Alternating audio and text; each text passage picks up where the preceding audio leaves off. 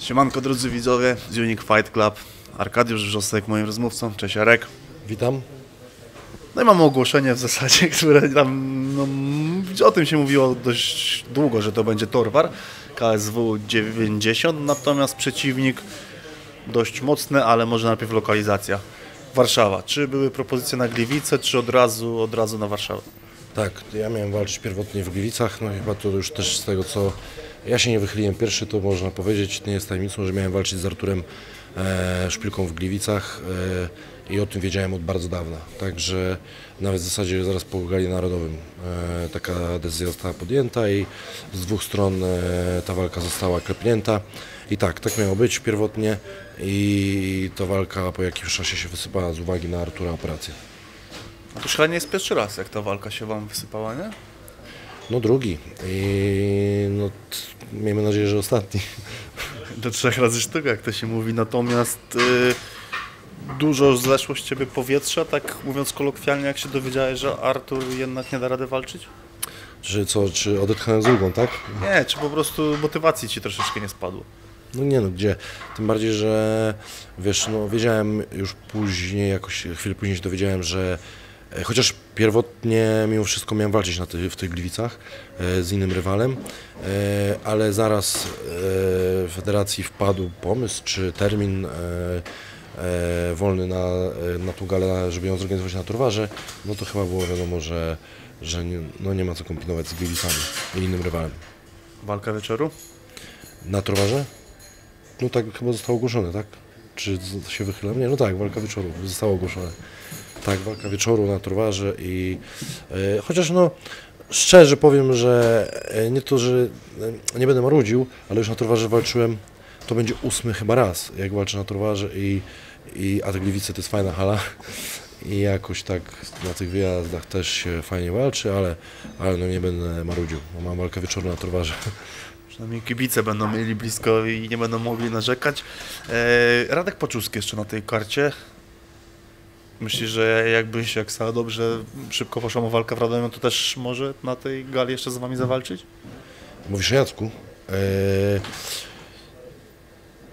myślę, znaczy, kurde, no, byłoby to logiczne, ale z tego co wiem, to chyba nie, nie ma takich planów, bo też e, było rozmawiane jeszcze tak te, te trzy gale różnicy to można by było przeżyć, ale kurde, dwie, a w zasadzie no to tylko jedna pomiędzy, to by było już e, mocno ciężkie, nie? Eee, no ale wiesz, no zależy, no, jak Jacek skończy walkę w, po 15 sekundach i, i może im, im będzie tam pasował jeszcze, to kto wie, ale no z tego, to, wiesz, o tym było rozmawiane po prostu i, i nie wydaje mi się, żeby, e, znaczy nie wydaje mi się, no wiem, że nie ma takich planów. O.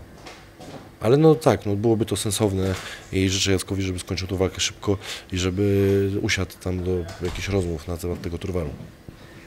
Iwan Witasowicz jest Twoim przeciwnikiem i Wy, drodzy widzowie, możecie znać Iwana e, z ostatniej walki Michała Andryszaka, który to Michała pokonał w trzeciej rundzie, mimo że no Michał w zasadzie całą walkę prowadził. E, widziałeś to starcie? Tak, a ty widziałeś? Tak. bo nie ma go chyba nigdzie, ja e, gdzieś tam je dojrzałem i oglądałem całą walkę. No tak jak mówisz, no Michał raczej tam mocno parterowo zapaśniczo go całą walkę tłamsił i ja nawet byłem w szoku, bo naprawdę Michał miał zapięte ze dwie techniki, e, żeby go poddać i, i tam, no i Michał się po prostu chyba sam gdzieś lekko wypompował, a w trzeciej rundzie e, z kolei przyjął jakieś dziwne dwa łokcie, e, chyba jak, kurczę, widzisz, że widziałem tę walkę wczoraj, już nie pamiętam, e, czy przedwczoraj, jak przyjął te łokcie chyba jak, jak miał go w żółwiu, te, tego Iw- Iwana, i Iwan mu chyba z dołu takie dwa łokcie wypłacił i to Michałem, kurde, no nie chcę skłamać, ale tak było, że on po tych, on przyjął takie z dwa łokcie i one zmieniły ogólnie obraz już tej walki do końca, E, no i Michał się trochę wypompował i, i on go skończył, tam go dobijał później e, na siatce, potem, potem z kolei dobijał go na, w parterze i, i sędzia przerwał tą walkę, bo Michał się nie bronił. Ale no, kurde, no naprawdę taka dziwna walka, bo tam w ogóle nie było, nawet nie wiem czy, no może nie 10-8 te rundy, ale naprawdę była taka mocna dominacja i nie był w stanie nic pod Michała zrobić e, ten Witasowicz. No ja właśnie pamiętam to, co powiedziałeś, że Michał już stał tam na siatce i widać było, że już kurczę, no nie ma prądu chyba, czy czegoś tam zabrakło, nie wiem, nie wiem, co tam, czego, co tam nie zagrało. Ja, ja też, y, ja wcześniej po prostu słyszałem, jak ta walka wyglądała, czy nawet czytałem, że po prostu Michał się wypompował, czy coś takiego, ale no na pewno też był zmęczony. E, no siedział na gościu, wiesz, dwie rundy tam go obijał, próbował poddać, to też jest bardzo męczące, wiem już dobrze o tym. Natomiast e, no, ja tak włapałem te takie łokcie, on dostał jakieś takie, przy, nie no, na pewno nie przypadkowe, ale, ale takie nie, których mógł się nie spodziewać i dostał je dość mocno i było widać, że go to, że go to ruszyło, te łokcie i tam się mocno skrzywił i może, może to go jakoś wstrząsnęło. Iwan no jednak woli rozwiązywać walki w stójce, woli bić niż poddawać. Dziewięć nokautów, bodajże dwa poddania. Wiem, że to Cię cieszy, nas jako widzów też to na pewno e, cieszy. Ale chyba już powoli czas na też troszeczkę Arek próbowania tego parteru. Jakie masz, jakie masz nastawienie przed tą walką? Bo gdzieś tam panuje opinia w środowisku, w branży, w mediach, że jest to najtrudniejszy twój test dotychczasowo w MMA. Zgadzasz się z tym czy nie? No ja myślę, że na papierze na pewno. E, bez wątpienia tak raczej będzie, jeśli mówimy o MMA. Natomiast też, szczerze mówiąc, to może prócz ostatniej walki, e, wcześniejsze dwie, na dany moment też były taki, tak samo trudnymi testami, no bo wiesz, na walkę z Tomkiem Saraną to, no, to już mówiłem też w wywiadach, szczerze powiem, e, robiłem parter i zapasy, potem po prostu przestałem na tam, e, jak już wiedziałem, że będę walczył z Tomkiem na te dwa miesiące, bo robiłem tylko stójkę i to był bardzo duży błąd i już za to przepraszałem publicznie na, na walkę z Tomkiem Możnym na tamten moment. Też to był bardzo trudny test, bo też ten parter, ja tam po walce z Tomkiem miałem trochę przerwy i zacząłem trenować i robiłem te zapasy i naprawdę mi fajnie szło, ale mimo wszystko, wiesz, Tomek 20 kg cięższy i już w tym parterze coś tam po walce jego poprzedniej z tym Indą można było zobaczyć, że umie. I też było ryzyko i taka, wiesz, niechęć próbowania tego mm, z uwagi na to, że no, tam może być ciężko. E, a jak chodzi o E, jeśli chodzi o ostatnią walkę, no to wiesz, no to wiedziałem, że mogę spróbować pokazać, że coś się już nauczyłem, bo rywal raczej nie powinien być lepiej przygotowany parterowo niż ja. No a teraz no bez wątpienia rywal będzie na papierze. Wiesz, no, pierwszą walkę chyba stoczył w 2012 czy 2013 roku. To ja, ja zacząłem tak naprawdę w, chyba w 11 czy 12 trenować kickboxing w ogóle. Także uprawiamy sporty walki tyle samo czasu i do tego on cały czas trenuje MMA i robi na pewno parter zapasy. No ale tak wspomniałeś, skupię się na tym, żeby bić się w stójce i nie podejmowałem decyzji o e, walczeniu z nim sam. Moi trenerzy Bartek i Robert widzieli jego większość walk i od razu powiedzieli, że bym brał, że to jest super walka dla mnie i skoro tak powiedzieli, to zdają sobie sprawę, znają mnie z sali, wiedzą co potrafię, że dam sobie z jego umiejętnościami radę. No, y, Witasowicz walczył już łącznie z czterema zawodnikami, którzy się przywinęli przez KSW, bo wygrywał z Andryszakiem i Oli Thompsonem, a przegrywał z Pestą, Pestą i, i Darko Stosicem. I to z Darko Stosicem była chyba jego trzecia czy czwarta dopiero walka. Dlatego nie ma, też tak właśnie tak wiem, nie ma też co brać pod uwagę tego, no bo to były walki, ja nawet ich nie jakoś puściłem sobie, tak przeleciałem wzrokiem po tych dwóch walkach, bo nie było sensu ich oglądać, jak to są walki, wiesz, on ma 31 lat i jak miał z Stosicią walczył, to miał 20 chyba 3 lata czy 4 i to jest w ogóle inny zawodnik. To ja brałem pod uwagę już prędzej tą walkę z Oli Thompsonem, oglądałem z, no wiadomo, z Michałem, te jego ostatnie walki, to, to tylko je braliśmy pod uwagę. Radek Paczuski na tej samej karcie i pamiętam, jak tutaj gdzieś z Radkiem rozmawialiśmy, że chciałby się bić z Humburgerem może. Tyle, że ja wiem, że znowu Humburger jest szykowany na, Liberec, na lutową galę. KSW, jak myślisz, z kim może zawalczyć Radek? Czy, czy może już wiadomo, ale nie można powiedzieć, jak to wygląda? E, nie, nie będę kręcił i zamówił, że nie wiem, bo naprawdę nie wiem. Znaczy powiem, że nie wiem, bo naprawdę nie wiem i Radek jeszcze, no bo tam jest po prostu chyba, y, tam kilka jakichś w ogóle padło pomysłów, nie? Kilka, naprawdę kilka, tak nie wiem, no 3, 4, 5 i nikt jeszcze nie wie z kim będzie Radek się bił. Y, myślę, że y, no, tam jakieś nowe nazwiska padały, zagraniczne i polskie i tam jest y, wbrew pozorom duży wybór tych przeciwników dla Radka, no bo no, no Radek musi się odbudować po dwóch porażkach, jakby, no brzmi to słabo, no ale wiadomo jakie te porażki były, nie? E, z pretendentem do pasa i z no, Michałem Materlą. E, tak, i to jeszcze takie, e, można powiedzieć, ta porażka druga, e, no smutna. O, nie powiem, że niesprawiedliwa, bo nikomu nie bym coś ujmował, ale no Radek e, pokazał, że nie jest słabszy o, w tej walce i No, no i, i to brzmi poważnie dosyć, że będzie się musiał odbudować po dwóch porażkach, a tak naprawdę no też no, Radek nie może dostać słabego przeciwnika, no bo jest mocnym zawodnikiem. Także no, wbrew pozorom tam jest szeroka taka lista i są brani pod uwagę zawodnicy, którzy wygrywają e, ostatnio i którzy przegrywają. I, ale będzie, no ja tam się mniej więcej domyślam, tu już nie chcę gadać, z kim będzie walczył. Na pewno, na pewno dostanie też Radek będzie miał walkę wysoko na karcie, to musi być też mocny przeciwnik. Wasz kolega klubowy Sieksa, Jacek Gać, debiutuje już w tę sobotę w Radomiu. Wybierasz się na tą galę? Tak, będę na pewno. No, ja tam mam jest organizacja, bo chciała, żebym był i sprawy marketingowe, jakieś medialne, no i dwa, że no, nawet jakby, gdyby nie to, to i tak bym tam przyjechał w innej, e, w innej roli. Czego możemy się spodziewać po debiucie Sieksy w KSW? Bo jest to jeden z takich debiutów najgorętszych chyba w tym roku. No myślę, że na pewno e, ciekawych rzeczy poza klatką. Natomiast e, oczywiście wszystko w granicach rozsądku i dobrego smaku. Natomiast e, w klatce czego można się spodziewać? Na pewno takiego, no Jacek miał dwie walki póki co w MMA, no ale dwie wyglądały identycznie, e, bez kalkulacji, po prostu się napierdzielał i, i to na pewno można się po Jacku tego spodziewać, e, bo co by mu raczej, myślę, że trenerzy nie wkładali do głowy, jakiegoś plan, game planu nie zakładali, to Jacek po prostu wyjdzie i będzie robił to, co każdy z nas umie robić najlepiej, po prostu będzie się bił i tyle. I, i, i myślę, że na pewno będzie, będzie dużo ciosów. E, Chciałbym wrócić do tematu walki ze szpilką.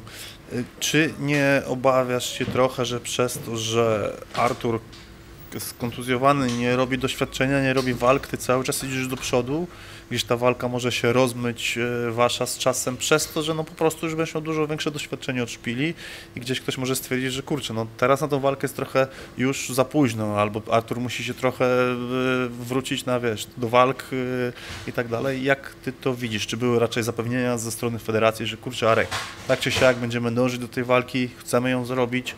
Czy masz takie informacje? Eee, no to raczej takie mam ustne, może nie jest to zapewnienie, no tak, no zapewnienie, że do tej walki dojdzie i myślę, że no, dojdzie no, w przyszłym roku na pewno. No i nie wiem, co musiało się zdarzyć przez te, te, parę miesięcy, żeby do niej nie doszło. No, mam nadzieję oczywiście, że ta moja kariera będzie się toczyła jak się toczy i będę wygrywał i będę coraz bardziej się rozwijał. No i no, no co mam powiedzieć, co mogę powiedzieć, no Artur, z tego co wiem, Artur będzie jakoś gotowy do walki na późną wiosnę, coś takiego i on ma zawalczyć, no i to już tam jest, są jakieś po prostu, są pomysły na, na moją historię z Arturem, są pomysły, czy to będzie, wiesz, Artur zawalczy wcześniej, czy nie zawalczy wcześniej e, z kimś innym, czy będziemy walczyć na, w tak, tym miesiącu, czy tamtym, są jakieś pomysły luźne, na pewno wszystko będzie, wiesz, e, wszystko się okaże, może nie okaże, na pewno będzie mądrzejsi w styczniu, e, no ale ja jestem też pewny swego i mniej więcej już sobie ten rok, rok powoli, powoli zaczynam jakiś zarys tego planu robić. Na 2024 rozumiem, czyli co? Mamy od razu w styczniu walkę, ile jeszcze później, zakładając, że oczywiście nie ma kontuzji, walka jest wygrana, ile jeszcze chciałbyś tych walk stoczyć w przyszłym roku? Szczerze mówiąc, jak sobie tak liczyłem w głowie, no i na pewno no teraz chciałbym dużo się bić, nie? To doświadczenie łapać takie MMA typowe, to myślę, że realne są trzy. No, masz styczeń, połowa roku, no i koniec roku. To wiesz, masz realne trzy walki i jak Bóg pozwoli, to bardzo chciałbym takie trzy walki stoczyć w przyszłym roku. Widziałem tutaj na fanpage'u Unique Fight Club zdjęcia Alistaira Overima z podpisem, że dawno tego gentlemana tutaj nie było. Coś się kroi? Tak, jest, y, Alistair tu przyjedzie y, do nas i będzie w tym czasie z takim, zrobimy seminarium e, z nim. Także nawet nie wiedziałem, że coś wrzucili, ale no jak wrzucili, no to pewnie zaraz będzie wiadomo. No, będzie seminarium z Alistarem, i przy, a potem ja jadę zaraz tak naprawdę, jak, bo to będzie na koniec listopada, a ja na początku grudnia jadę właśnie do Holandii i też tam trochę będę z nim trenował. Do świąt zostajesz w Holandii? Tak, no do świąt wracam przed świętami, a potem jeszcze tutaj przyjedzie ktoś do mnie z Holandii. Jak Arek z jiu-jitsu, twój y, poziom? Możemy się spodziewać jakiejś latającej balaszki w styczniu, czy, czy jeszcze nie? No właśnie trenera Sebastiana dzisiaj męczyłem, żebyśmy to zrobili, bo już mi obiecuje tyle czasu, że porobimy jakieś latające, znaczy jakieś, no że porobimy latającą balachę, ale tak ciągle to przekłada w czasie. E, Mi się bardzo podoba jiu-jitsu i I e, ja po prostu na, na początku było ciężko, bo no, naprawdę niewiele rozumiałem. Nie powiem, że niewiele umiałem, no bo nadal e, to nie jest jakaś, wiesz, nie mam umiejętności e, wybitnych, ale niewiele rozumiałem. Teraz już bardzo dużo rozumiem i przede wszystkim e, wiem, co robić. Początek miałem taki, że ja tak naprawdę tylko robiłem wszystko z dołu, nie? Wstawanie, wracanie do gardy i tak dalej, i tak dalej. A teraz z trenerem Sebastianem robimy po prostu już typowe jiu bardzo dużo technik i, i mi się to podoba, kurczę, i zawsze nie mogę się doczekać podczas treningu tych dwóch, trzech rundek na koniec, żeby się pokręcić i robię z Markiem, Samociukiem i tu z Radkiem i jest fajnie. Bawimy się, e, poddajemy, jest dużo śmiechu, ale naprawdę mi się to podoba i na, przychodzę na te treningi z taką, z taką dużą chęcią i mi się to jiu bardzo podoba. No i mamy jeszcze bardzo fajnego trenera od zapasów, Pawła Kipena i robimy też te zapasy, takie typowe zapasy, znaczy typowe, on nam to pod, pod MMA zmienił i jest bardzo fajnie. Dlatego muszę jechać do Holandii się za stójkę wziąć. Ja na stójkę twoją to chyba się nie będziemy martwić. Ale to właśnie to tak nie działa, wiesz, to trzeba, bo to jest zanik niestety tego i to trzeba trenować, dlatego ja jeżdżę dużo tej stójki staram się robić i z Pawłem Kłakiem robię boks i robimy tutaj, e, mamy dwa treningi w tygodniu, typowo stójkowe i teraz jeszcze do tej Holandii powiem, to trzeba robić, bo to zanik zaraz będzie. Pojawiają się jakieś oferty walk w K1? E, wiesz co, e, była taka fajna, ma, nie powiem, to nie była oferta, ale no możliwość mam e, takiego E, do pełnienia swojej przygody w kickboxingu, ale to myślę, że już raczej odkładam w czasie, bo w czasie odkładam w ogóle na e, wsadzam gdzieś w rozdział, wiesz, zamykam ten rozdział, no bo nie, nie, nie da się trenować tego i tego naraz. To jest, to jest, tak jak Ci powiedziałem, ja teraz robię bardzo dużo tych zapasów, parteru, e, dwa, trzy ciosy i w nogi, albo odwrotnie, i to nie, i to, stójka, to zupełnie inna stójka. To nie da się tego łączyć. Może wiesz, w jakichś takich mniej poważnych e, walkach, e, ale nie, nie na poważnie. O. Także ja to już w ogóle zostawiam.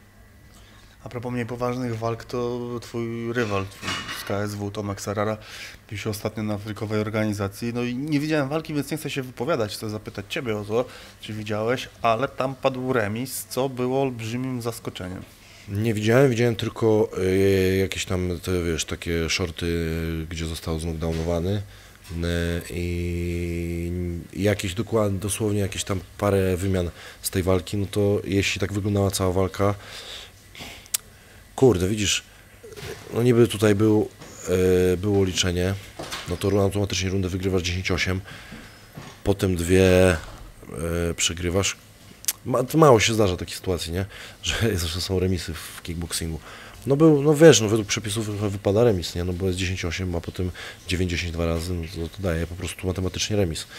No ale to już abstrahując od tego, jak to wygląda w matematycznie i przepisa, i jak wyglądają przepisy, regulaminy, no to no to no też słabo to, słabo to na pewno Tomkowi y, będzie na CV wyglądało.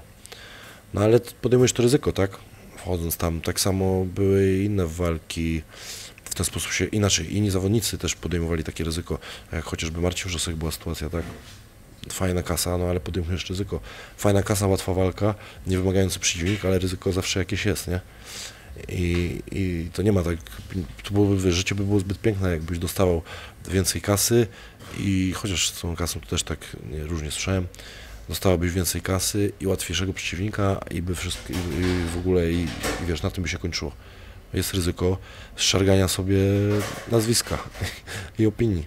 No i, no i no nie życząc mu niczego oczywiście wcześniej złego, no to, to trochę mu na pewno to poszargało to CV. Tym bardziej, że wiesz, no, y, trzeba obejrzeć walkę, żeby wiedzieć jak było. A no, kto tej walki nie ogląda, to się takim suchym wynikiem zadowoli i, i tyle w temacie, nie? No na przykład, no ja też właśnie walki nie widziałem, słyszałem, że Tomek mocno przeważał w tej walce, że cały czas wywierał presję, no, ale... Jakby nie przeważać, kurde, no to by było dziwne jakby, y, jakby no nie przeważał, no przecież walczył z, wiesz, 40 tam 50 prawie parę, 40 parę, nie wiem ile ten Denis Ojciec ma lat, ale na pewno no powiedzmy, że jak jest Denis Ojcem, no to ma z 5 dych, może mieć prawie. No i, no i no to jak masz, a jak Atomek jeszcze nie ma 40, jest z, rok temu jeszcze walczył, wiesz, zawodowo na poważnie trenował, to jakby nie miał przeważać, no musiał przeważać w tej walce. No i kurde, no i taki po prostu, no tam chwila nieuwagi, czy pech, czy inaczej można to nazwać, no i, i dużo można stracić. kurde, w, takim, w takiej walce. No jakbym, dlatego na przykład jak ja bym taką propozycję dostał, to bym no, brał pod uwagę to ryzyko, nie?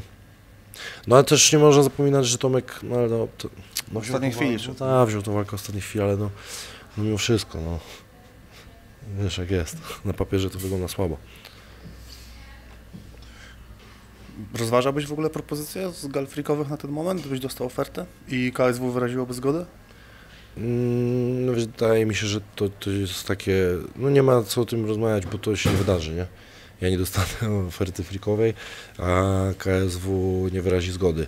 A druga sprawa, że no, mam podpisany z KSW nowy kontrakt to taki naprawdę przyjemny, bardzo. I nie sądzę, żeby jakaś organizacja frikowa była w stanie e, i chętna mi zapłacić więcej niż, a na pewno wiesz, za, za parę naście, dziesiąt tysięcy więcej to nie wyszedł do walki, bo frikowej będąc zawodnikiem KSW, no bo to, jest, to musiałem dostać naprawdę takie lepsze pieniądze, a lepsze pieniądze to będą już naprawdę grube pieniądze i no i ja w ogóle nie myślę o tym. Jest naprawdę, traktuję to ten sport na poważnie jest mi przyjemnie i podpisałem fajny kontrakt na dużo walk i, i jest, y, wiesz, widzę, y, tak jak jeszcze naprawdę rok temu zastanawiałem się, czy to był dobry pomysł, to po dzisiejszych treningach, sparingach y, i tych trzech moich ostatnich walkach naprawdę chce mi się ten sport uprawiać na poważnie. Ostatnie pytanie, Arek. Czy na końcu tego kontraktu jest już Phil de Vries, czy jeszcze nie? E, Zależy ode mnie, myślę. No, no zobacz, e, ile zrobiłem w 10 miesięcy trzy walki i naprawdę przez ten tam powiedzmy rok, e, w sumie no niecały, tam licząc te przygody różne kontuzjowe i jakieś przygotowania złe do walki, to uważam, nie tylko ja, moi trenerzy też skoro zgodzili się na to, żebym zawalczył z zawodnikiem, który ma 20 walk zawodowych, e, no uważam, że dużo się już szybko i dużo się uczę, nie? I nie jest wykluczone, no ale mam naprawdę duży respekt na dzisiejszy do Phila de Frisa i, i dzisiaj naprawdę nie wiem, co musiało być moją albo nie, nie będę używał jakichś zaraz słów, bo ktoś coś kurczę wyciągnie z tego, te, wiesz, na nagłówek. W jakimś poście ludzie mnie zrozumieją, ale no i nie, i że będzie, że jestem jakiś, wiesz, wydyganiec, ale no na dzień dzisiejszy na pewno z Philem de Friesem byłbym, nie widział, nie miałbym jakiejś wielkiej nadziei co do takiej walki, ale no, ale wszystko się tak szybko zmienia i, i zwalczyłem ostatnio taki swój bardzo duży problem, z którym się borykałem e, i to mnie też napawa wielkim optymizmem, a mianowicie e, tam trochę uregulowałem sprawy e, w brzuchu i fajnie mi waga idzie do góry, ważę na, na dzień dzisiejszy 113 kg, także jest naprawdę nadzieja na, na solidną przygodę w MMA. No to solidne przymasowanie, bo pamiętam, rozmawialiśmy o tej twojej wadze. No także co, y, Arek, no powodzenia w styczniu. Szanowni Państwo, na pewno jeszcze tam się z Arkiem e, złapie gdzieś bliżej, bliżej terminu gali. Dziękuję Ci za poświęcony czas i co, do zobaczenia. Dziękuję, uprzejmie do zobaczenia.